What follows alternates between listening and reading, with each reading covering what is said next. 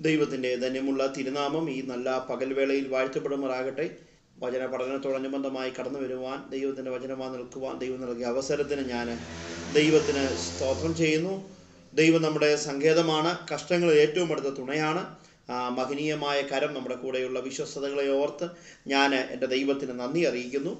ഈ കഴിഞ്ഞ ക്ലാസ്സുകളിൽ എന്റെ കൂടെ സഹകരിക്കുന്ന എല്ലാ വാന്യ ശ്രോതാക്കൾക്കും വേഗം വരുന്ന ക്രിസ്തേശുവിൻ നാമത്തിൽ എന്റെ പ്രഭാത വന്ദനത്തെ ഞാൻ അറിയിക്കുന്നു കഴിഞ്ഞ ക്ലാസ് വരെ നമ്മൾ ചിന്തിച്ചിരുന്നത് എബ്രാ ലേഖനം ഒന്നാം അധ്യായം അതിന്റെ ഒന്ന് മുതൽ പന്ത്രണ്ട് വരെയുള്ള വാക്യങ്ങൾ കഴിഞ്ഞ ക്ലാസ്സുകളിൽ ഏകദേശം പതിനാല് ക്ലാസ്സുകളായി നമ്മൾ ചിന്തിച്ചുകൊണ്ടിരിക്കുകയാണ്. ഇന്ന് അതിന്റെ പതിമൂന്നാം വാക്യമാണ് നാം അല്പസമയം ചിന്തിക്കാൻ പോകുന്നത്. ആ വാക്യം ഞാൻ വായിക്കുവാൻ ദൈവനാമത്തിൽ ശരണപ്പെടുന്നു. ഞാൻ നിന്റെ ശത്രുക്കളെ നിന്റെ പാദപീഠമാക്കുമ്പോളം നീ എന്റെ വലത്തുഭാഗത്തിരിക്ക എന്ന് ദൂതന്മാരിൽ ആരോടെങ്കിലും വല്ലപ്പോഴേലും അരുളി ചെയ്തിട്ടുണ്ടോ? വളരെ അർത്ഥവത്തായ ഒരു ചോദ്യം.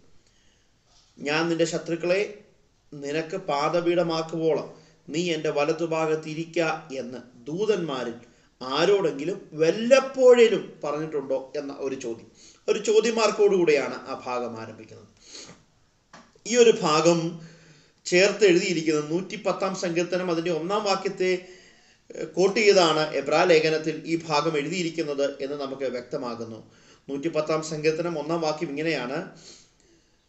യഹോവ എന്റെ കർത്താവിനോട് അരുളി ചെയ്തത് ഞാൻ നിന്റെ ശത്രുക്കളെ നിന്റെ പാദപീഠമാക്കുമ്പോളം നീ എന്റെ വലതുഭാഗത്ത് ഇരിക്കാം. ആ പദം നമ്മൾ ശ്രദ്ധിക്കണം. യഹോവ എന്റെ കർത്താവിനോട് അരുളി ചെയ്തത് യഹോവ എന്റെ കർത്താവിനോട്. ഇവിടെ ദൈവമായ പിതാവാം ദൈവവും പുത്രനാം കർത്താവും തമ്മിലുള്ള ഒരു വലിയ അഭേദ്യമേറിയ ബന്ധത്തെ ഈ ഭാഗം നമ്മൾ പഠിക്കുമ്പോൾ കാണുവാൻ കഴിയുന്നു. പതിമൂന്നാം വാക്യം വളരെ വ്യത്യസ്തമായ ഒരു ചിന്തകളാണ് അടങ്ങിയിരിക്കുന്നത്. ലേഖകൻ നൂറ്റി പത്താം സങ്കീർത്തനം ഒന്നാം വാക്യം രണ്ട് അലങ്കാരങ്ങൾ ഈ ഭാഗത്ത് എടുത്തു പറഞ്ഞിരിക്കുന്നത് നമുക്ക് കാണാൻ കഴിയുന്നു. യേശുവിനോട് പിതാവിന്റെ വലത്തുഭാഗത്തിരിക്ക എന്ന് ആവശ്യപ്പെട്ടിരിക്കുന്നത് നമുക്ക് ഈ ഭാഗം പഠിക്കുമ്പോൾ വ്യക്തമായി കാണാൻ കഴിയുന്നു. വലത്തുഭാഗത്ത് ഇരിക്കുക എന്നതിന് ആദരവിനെയാണ് സൂചിപ്പിക്കുന്നത്. വലത്തുഭാഗത്ത് ഇരിക്കുക എന്നതിനെ ആദരവിനെയാണ് സൂചിപ്പിക്കുന്നത്. ഒരു രാജാവിന്റെ കോടതിയിൽ രാജാവ് സിംഹാസനത്തിൽ ഭൃത്യന്മാരാൽ ചുറ്റപ്പെട്ട് ഇരിക്കുന്ന പ്രതീകമാണ് ഈ വാക്കുകൾ നമ്മൾ വായിക്കുമ്പോൾ നമുക്ക് മനസ്സിലാക്കാൻ കഴിയുന്നത് ഓർമ്മയിൽ വരുന്നത്. പൂർവ ദിക്കുകളിൽ ആ കാലത്ത് പന്തിയിൽ ഇരിക്കുന്നത് അങ്ങനെയായിരുന്നു. പൂർവകാലങ്ങളിൽ അന്ന് രാജാക്കന്മാരുടെ പന്തിയിൽ ഭരണകർത്താക്കൾ ഇരിക്കുന്നത് ഈ ഒരു തലത്തിലായിരുന്നു എന്ന് നമുക്ക് വ്യക്തമാക്കുവാൻ കഴിയുന്നു. ദൈവത്തിന്റെ വലതുഭാഗത്ത് ഇരിക്കുവാൻ ദൂതന്മാരോട് ദൈവം അരുളി ചെയ്തിട്ടില്ല. ദൈവത്തിന്റെ വലതുഭാഗത്ത് ഇരിക്കാൻ ദൈവം ദൂതന്മാരോട് അരുളി ചെയ്തിട്ടില്ല. മറിച്ച് യേശുവിനോട് മാത്രമാണ് പറഞ്ഞത്. മറിച്ച് യേശുവിനോട് മാത്രമാണ് പറഞ്ഞിരിക്കുന്നത്.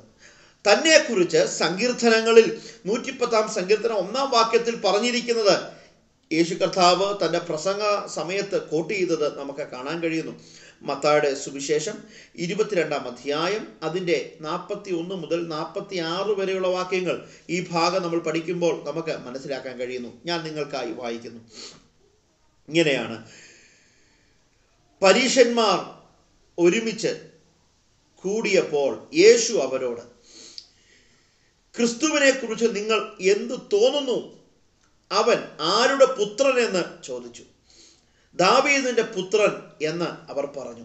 ക്രിസ്തു ചോദിക്കുകയാണ് പുത്രനെ കുറിച്ച് ക്രിസ്തു ചോദിക്കുന്ന ചോദ്യമാണ് ക്രിസ്തുവിനെ കുറിച്ച് നിങ്ങൾ എന്ത് തോന്നുന്നു? നിങ്ങൾക്ക് എന്ത് തോന്നുന്നു? അതിന് കൂടി നിന്നവർ പറഞ്ഞ മറുപടിയാണ് ദാവീദിന്റെ പുത്രൻ എന്ന് അവർ പറഞ്ഞു. നാൽപ്പത്തി മൂന്നാം വാക്യത്തിൽ അവർ അവനോട് എന്നാൽ ദാവീദ് ആത്മാവിൽ അവനെ കർത്താവെന്ന് വിളിക്കുന്നത് എങ്ങനെ? ദാവീദ് ആത്മാവിൽ അവനെ കർത്താവ് എന്ന് വിളിക്കുന്നത് എങ്ങനെ എന്ന് ചോദിക്കും. നാൽപ്പത്തിനാലാം വാക്യം ഞാൻ നിന്റെ ശത്രുക്കളെ നിന്റെ പാതപീഠമാക്കുമ്പോളും നീ എന്റെ വലത്തുഭാഗത്തിരിക്ക എന്ന കർത്താവ് എന്റെ കർത്താവിനോട് ആ പദം ശ്രദ്ധിക്കണേ നൂറ്റി പത്താം സംഘത്തിന് ഒന്നാം വാക്യത്തിൽ നമ്മൾ വായിച്ചത് യഹോവ എന്ന പദമാണ് യഹോവ കർത്താവിനോട്.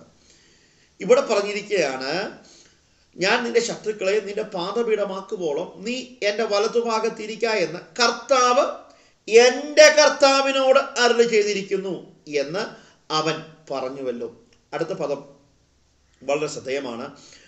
കർത്താവ് തൻ എന്റെ കർത്താവിനോട് എന്ന പദം. പുതിയ നിയമത്തിൽ പലപ്പോഴായി ഈ സങ്കീർത്തനത്തിന്റെ ഉദ്ധരണികൾ എടുത്തു പറഞ്ഞിരിക്കുന്നത് നമുക്ക് കാണാൻ കഴിയുന്നു. സങ്കീർത്തനം നൂറ്റിപ്പത്തിലെ ദാവീദിന്റെ അധികാരത്തെയും ദൈവശാസ്ത്രീയതയും യേശു ആരാണെന്നുള്ള വ്യക്തിഗ വ്യക്തമായ ചോദ്യത്തിനുള്ള ഉത്തരവും മത്താടെ സുവിശേഷം ഇരുപത്തിമൂന്നാം അധ്യായം അതിന്റെ മുപ്പത്തിനാല് മുതൽ നാൽപ്പത്തി ആറ് വരെയുള്ള വാക്യങ്ങൾ നമ്മൾ പഠിക്കുമ്പോൾ കാണാൻ കഴിയുന്നു. ഇതേ ഭാഗത്തിന്റെ വിഭിന്നനമായ ചിന്തയാണ് മർക്കോസ് പന്ത്രണ്ട് മുപ്പത്തി ആറ് ലൂക്കോസ് ഇരുപത് നാൽപ്പത്തി മൂന്ന് എന്നിത്യാദി ഭാഗങ്ങൾ നമ്മൾ പഠിക്കുമ്പോൾ ഈ വിഷയത്തിന്റെ വിപുലമേറിയ ചിന്തയാണ് നമുക്ക് കാണാൻ കഴിയുന്നത്. അതിലുപരിയായി ആ ഉദ്ധരണി ഉപയോഗിച്ച് അവൻ രണ്ട് കർത്താക്കന്മാരെ പറഞ്ഞിരിക്കുന്നു. രണ്ട് കർത്താക്കന്മാരെ പറഞ്ഞിരിക്കുന്നു. സങ്കീർത്തനത്തിൽ കർത്താവ് എന്റെ കർത്താവിനോട് എന്നാണ് പറയുന്നത്. കർത്താവ് എന്റെ കർത്താവിന്. നൂറ്റി പത്താം സങ്കീർത്തനം ഒന്നാം വാക്യത്തിൽ.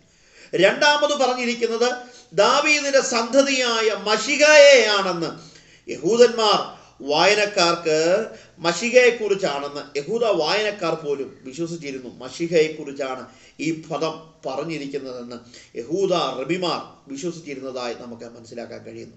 എന്നാൽ എബ്രാ ലേഖകന്റെ അതേ വാദമെടുത്ത് പത്രോസ് ബെന്തക്കോസ് നാളിൽ യേശു ദൈവമാണെന്ന് തെളിയിച്ചു. ബെന്തക്കോസ് നാളിൽ പത്രോസ് അപ്പോസ്തോലൻ ഇതേ വാദം ഇതേ വാദം എടുത്ത് യേശു ആരാണ്? എമേ അവൻ ക്രിസ്തുവാണ്. അവൻ ദൈവത്തിന്റെ പുത്രനാണ് എന്ന് വ്യക്തമാക്കിയത് നമുക്ക് കാണാൻ കഴിയുന്നു. മത് അപ്പോ പ്രവൃത്തി ഏഹ്, രണ്ടാം അധ്യായം മുപ്പത്തിനാല് മുപ്പത്തിയഞ്ച് വാക്യങ്ങൾ ഇങ്ങനെയാണ്. ദാവീദ് സ്വർഗാരോഹണം ചെയ്തില്ല. എന്നാൽ അവൻ ഞാൻ നിന്റെ ശത്രുക്കളെ നിന്റെ പാദപീഠമാക്കുവോളം. ദാവീദ് എന്ത് ചെയ്തില്ല? സ്വർഗാരോഹണം ചെയ്തില്ല. എന്നാൽ ഞാൻ നിന്റെ ശത്രുക്കളെ നിന്റെ പാദപീഠമാക്കുവോളം. നീ എന്റെ വലത്തുഭാഗത്തിരിക്ക എന്ന് കർത്താവ് എന്റെ കർത്താവിനോട് അരുളി ചെയ്തു എന്ന് പറഞ്ഞു. ഇത് മൂന്ന് ഭാഗങ്ങൾ നമ്മളിപ്പോൾ ചിന്തിച്ചു. ഈ ഒരു വേദശകലം മൂന്ന് ഭാഗങ്ങൾ. ഒന്നാമത് സങ്കീർത്തൻ നൂറ്റി പത്തിന്റെ ഒന്ന് രണ്ട്. എബ്രാ ലേഖനം ഒന്നാം അധ്യായം പതിമൂന്നാം വാക്യം മൂന്ന്. അപ്പോസൽ പ്രവൃത്തി രണ്ടാം അധ്യായം മുപ്പത്തി അഞ്ചാം വാക്യം. ഈ പദങ്ങളിലെല്ലാം കർത്താവ് എന്റെ കർത്താവിനോട് എന്ന പദമാണ് ഉപയോഗിച്ചിരിക്കുന്നത്. ഒന്നാം നൂറ്റാണ്ടിൽ യേശുവിന്റെ ദൈവികത്വം നിഷേധിച്ചിരുന്നവർ പോലും ഈ ഒരു പദത്തിന്റെ ചിന്തകളിൽ കുടുങ്ങിയിരുന്നത് ചിന്തകളിൽ ചിന്താവൈശ്യരായിരുന്നത് നമുക്ക് മനസ്സിലാക്കാൻ കഴിയുന്നു. നൂറ്റിപ്പത്താം സംഗീതനം ഒന്നാം വാക്യം നമ്മൾ മുമ്പിൽ വായിച്ച ഭാഗമാണ്. ഒന്നുകൂടെ ഞാൻ ആ ഭാഗം ഒന്ന് വിചിന്തനം ചെയ്യുവാൻ ദൈവനാമത്തിൽ ശരണപ്പെടുന്നു. യഹോവ എന്റെ കർത്താവിനോട് അരളി ചെയ്തത് ഞാൻ നിന്റെ ശത്രുക്കളെ നിന്റെ പാദപീഠമാക്കുമ്പോളും നീ എന്റെ വലത്തുഭാഗത്തിരിക്ക എന്ന പ്രയോഗമാണ്.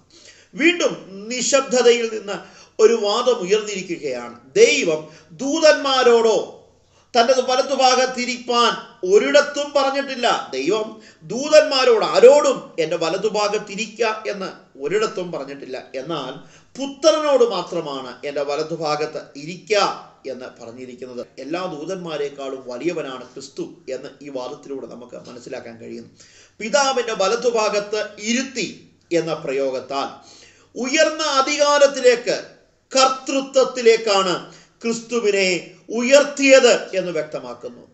എങ്ങനെയാണ്? ഉയർന്ന അധികാരത്തിലേക്ക് ഇരുത്തി എന്ന പ്രയോഗത്തിൽ നിന്ന് ഉയർന്ന അധികാരത്തിലേക്ക് ഉയർന്ന പദവിയിലേക്കാണ് കർത്തൃത്വത്തിലേക്കാണ് ക്രിസ്തുവിനെ ഇരുത്തിയത് എന്ന ഈ ഭാഗം നമ്മൾ പഠിക്കുമ്പോൾ മനസ്സിലാക്കാൻ കഴിയുന്നു. തനിക്ക് തന്നെ വിമർശി തന്നോട് തന്നെ വിമർശിക്കുന്നവരോട് ക്രിസ്തുവിന്റെ വാദം അതായിരുന്നു.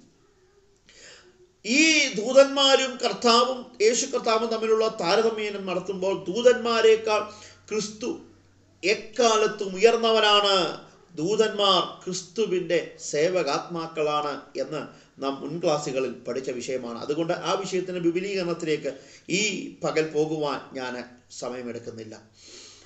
എന്നാൽ ഈ സങ്കീർത്തനത്തെക്കുറിച്ച് യേശു പറഞ്ഞ വാദം യേശു പറഞ്ഞ ഭാഗം നമ്മൾ ചിന്തിച്ചതാണ്. എന്താണ്? യേശു ഈ സങ്കീർത്തനത്തെക്കുറിച്ച് പറഞ്ഞിരിക്കുന്നത്?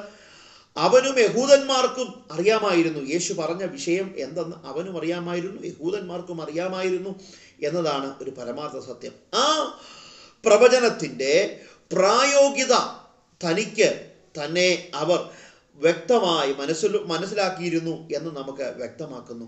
തനിക്ക് തന്നെ അവർ ഉപയോഗിച്ചപ്പോൾ യേശു ആരെന്ന് ആ ജനത്തിന് വ്യക്തമായി മനസ്സിലാക്കിയിരുന്നു. അത് ദൈവദൂഷണമായി അവർ ആരോപിച്ചിരുന്നു എങ്കിലും യേശു കർത്താവിന് ഉയർപ്പിന് ശേഷം പത്രോസ് അപ്പോസ്തലൻ തന്റെ ശുശ്രൂഷയുടെ ആരംഭകാലത്ത് ബന്ധക്കോസ് നാളിന് ശേഷമുള്ള തന്റെ ശുശ്രൂഷ പാഠവത്തിന്റെ ആത്മിക ശുശ്രൂഷയുടെ തലനങ്ങളിൽ ചലനങ്ങൾ താൻ വെളിപ്പെടുത്തിയപ്പോൾ ആ ഫലം നമുക്കറിയാം. വെള്ളിയോ പൊന്നോ ഞങ്ങൾക്കില്ല. നസ്രന യേശു ക്രിസ്തുവിന്റെ നാമത്തിൽ എഴുന്നേറ്റ് നടക്കുക അപ്പോൾ ക്രിസ്തുവിന്റെ പ്രാധാന്യം പൗലോ പൗലോസ് വ്യക്തമാക്കി. ആയതുപോലെ പത്രോസ് തന്റെ ശുശ്രൂഷയിൽ പ്രകടമായി വ്യക്തമാക്കി. ക്രിസ്തു ആരാണ്? അവൻ ദൈവത്തിന്റെ പുത്രനാണ്. അവൻ ക്രിസ്തുവാണ്. സകലത്തിനുമേലും കർത്തൃത്വം നടത്തുന്നവനാണ്. രണ്ട് പദങ്ങളാണ്. ഒന്നാമത്തെ പദം നമ്മൾ ചിന്തിച്ചു ക്രിസ്തുവിനുള്ള പദവി. രണ്ടാമത് ശത്രുക്കളെ പാദപീഠമാക്കും ആക്കുന്നത് ആക്കുവോളം എന്ന പദം നമുക്ക് കാണാൻ കഴിയുന്നു. എബ്രാ ലേഖനം പത്താം അധ്യായം അതിന്റെ പതിമൂന്നാം വാക്യം നമ്മൾ വായിക്കുമ്പോൾ ഇങ്ങനെ കാണാൻ കഴിയുന്നു. എബ്രാ ലേഖനം പത്ത് പതിമൂന്നിൽ വളരെ വ്യക്തമായി മനസ്സിലാക്കാൻ കഴിയുന്ന ഒരു കാര്യമുണ്ട്. എന്താണെന്ന് വെച്ചാൽ ക്രിസ്തുവിന് ശത്രുക്കളെ പാദപീഠമാക്കുവോളം എന്ന പ്രയോഗം. പഴയ നിയമങ്ങളൊക്കെ പഠിക്കുമ്പോൾ പുരാതന കാലത്ത് ഒരു രാജാവ് തന്റെ ശത്രുവിനെ തോൽപ്പിച്ച് കീഴ്പ്പെടുത്തി കഴിഞ്ഞാൽ ഒരു രാജാവ് തന്റെ ശത്രുവിനെ തോൽപ്പിച്ച് കീഴ്പ്പെടുത്തി കഴിഞ്ഞാൽ അവനെ തന്റെ കാൽ കീഴിൽ കൊണ്ടുവന്ന് കഴുത്തിൽ അല്ലെങ്കിൽ പുറത്ത് കാൽ വെക്കുന്നത് പതിവായിരുന്നു. അത് പഴയ നിയമത്തിലെ വ്യക്തമായി നാം മനസ്സിലാക്കാൻ കഴിയുന്ന ഒരു തത്വമാണ്. യോശുവയുടെ പുസ്തകം പത്താം അധ്യായം അതിന് ഇരുപത്തിനാലാം വാക്യത്തിൽ രാജാക്കന്മാരെ യോശുവയുടെ അടുക്കൽ കൊണ്ടുവന്നപ്പോൾ യോശുവ ഇസ്രായേൽ പുരോഹിതന്മാരെ ഒക്കെയും വിളിപ്പിച്ച് തന്നോടുകൂടെ പോയ പടജനത്തിന്റെ അധിപതിമാരോടും അടുത്തു വന്ന് ഈ രാജാക്കന്മാരുടെ കഴുത്തിൽ കാൽ വെപ്പീൻ എന്ന് പറഞ്ഞു. ശ്രദ്ധിക്കണേ. യോശുവ യുദ്ധം ജയിച്ച ശേഷം യുദ്ധത്തിന് പോയ വ്യക്തികളെയും ഇസ്രായേൽ പുരു പുരുഷന്മാരെയും അടുത്ത് വിളിച്ചിട്ട് യോശുവ പറഞ്ഞ തന്റെ പടജനത്തിന്റെ അധിപതിമാരോട് പറഞ്ഞ വാചകം ഇതാണ്. അടുത്തു വന്ന് ഈ രാജാക്കന്മാരുടെ കഴുത്തിൽ ഈ രാജാക്കന്മാരുടെ കഴുത്തിൽ കാൽ വെപ്പീൻ എന്ന് പറഞ്ഞു. അവർ അടുത്ത് എന്ന് അവരുടെ കാൽ കഴുത്തിൽ കാൽ വെച്ചു. എന്ന് വെച്ചാൽ നമ്മുടെ വിഷയത്തിൽ രണ്ടാമത്തെ പ്രയോഗം ശത്രുക്കളെ പാദപീഠമാക്കുവോളം ക്രിസ്തുവിന്റെ ഈ ഇഹലോകവാസത്തിലേക്കുള്ള വരവിന്റെയും മുപ്പത്തിമൂന്നര തിരുവയസ് വരെയുള്ള ശുശ്രൂഷ കാലഘട്ടത്തിന്റെയും തന്റെ മരണ അടക്ക പുനരുദ്ധാനത്തിന്റെയും ഒറ്റ ദൗത്യമേ ഉള്ളൂ ശത്രുവിനെ പാതപീഠമാക്കുക വെളിപ്പാട് പുസ്തകം നമ്മൾ പഠിക്കുമ്പോൾ ഇതിന്റെ വ്യക്തത മനസ്സിലാക്കുന്നു. ഞാൻ മരിച്ചവനായിരുന്നു എന്നാൽ ഇതാ എന്നേക്കും ജീവിച്ചിരിക്കുന്നു. Living for eternity to eternity everlasting to everlasting അടുത്ത പ്രയോഗം. മരണത്തിന്റെ അധികാരിയായ പിശാജിനെ തന്റെ മരണത്താൽ നീക്കി എന്ന പ്രയോഗം വിശുദ്ധ ബൈബിളിൽ കാണുന്നു. എന്നാൽ വെളിപ്പാട് പുസ്തകത്തിലെ പ്രയോഗം ഇങ്ങനെയാണ്. എന്നാൽ ഇതേ എന്നേക്കും ജീവിച്ചിരിക്കുന്നു. മരണത്തിന്റെയും പാതാളത്തിന്റെയും താക്കോ എന്റെ കൈവശമാണ്. അങ്ങനെയെങ്കിൽ ക്രിസ്തുവിന്റെ മരണത്താൽ മരണഭീതി മാറി പിശാജിന്റെ കഴുത്തിൽ അവന്റെ അധികാരത്തെ ക്രിസ്തു കാൽ കീഴാക്കി സകലത്തിനു മേലും അധികാരം നൽകി. അതാണ് യേശു കർത്താവ് ശിഷ്യന്മാരെ ശുശ്രൂഷയ്ക്ക് അയക്കുമ്പോൾ പറയുന്ന വാചകം. വിശ്വസിക്കുന്നവരാൽ ഈ അടയാളങ്ങൾ നടക്കും. അവർ എന്റെ നാമത്തിൽ ഭൂതങ്ങളെ പുറത്താക്കും എന്ന് പറഞ്ഞ് പ്രയോഗം അവസാനിക്കുമ്പോൾ ഇങ്ങനെ പറയുന്നു. മരണകരമായി യാതൊന്ന് കഴിച്ചാലും അവർക്ക് ഹാനി വരികയില്ല. അടുത്ത പ്രയോഗം സദയമാണ് സർപ്പങ്ങളെ അവർ പിടിച്ചടക്കും. അങ്ങനെയെങ്കിൽ അധികാരം ക്രിസ്തു തന്റെ ഭക്തജനത്തിന് കൈമാറുകയാണ്. എന്റെ വാക്കുകൾ ഞാനിവിടെ അവസാനിപ്പിക്കുവാൻ ദൈവനാമത്തെ ശരണപ്പെടുന്നു. എന്നെ കേൾക്കുന്ന മാന്യ ശ്രോതാവേ ക്രിസ്തുവാണ് രാജാതി രാജാവ് ക്രിസ്തുവാണ് കർത്താതി കർത്താവ് അതിവിദൂര ഭാവിയിൽ തന്റെ ഭക്തന്മാരെ ചേർക്കാൻ അവർ കടന്നു വരികയാണ്. ആ വരവെങ്കിൽ പോകുവാൻ പ്രത്യാശയോടെ കാത്തിരിക്കുന്ന എല്ലാവരെയും ദൈവമായ കർത്താവ് അനുഗ്രഹിക്കട്ടെ. നമ്മൾ ഈ ദിവസങ്ങളിൽ നമ്മെ തന്നെ വിശദീകരിച്ച് നമ്മെ തന്നെ നിർമ്മലീകരിച്ച് ബൈബിളിലെ ഏറ്റവും മനോഹരമായ ഒരു പ്രയോഗം അഴുക്കാകുന്നവൻ ഇനി അഴുക്കാകട്ടെ വിശുദ്ധൻ ഇനി തന്നെ താൻ വിശദീകരിക്കട്ടെ കർത്താവിന്റെ വരവ് സമീപമായി. സ്ഥലമൊരുക്കാൻ പോയ കർത്താവ് അതിവിദൂര ഭാവിയിൽ കടന്നു വരാൻ പോകുകയാണ്. കാഹളനാദം കാതുകളിൽ മുഴങ്ങാൻ ഭക്തിയോടെ ജീവിക്കുവാൻ സർവശക്തനായ ദൈവം എല്ലാവരെയും കൃപ നൽകട്ടെ എന്ന് ആത്മാർത്ഥമായി പ്രാർത്ഥിക്കുന്നു ആത്മാർത്ഥമായി ആശംസിക്കുന്നു. God bless you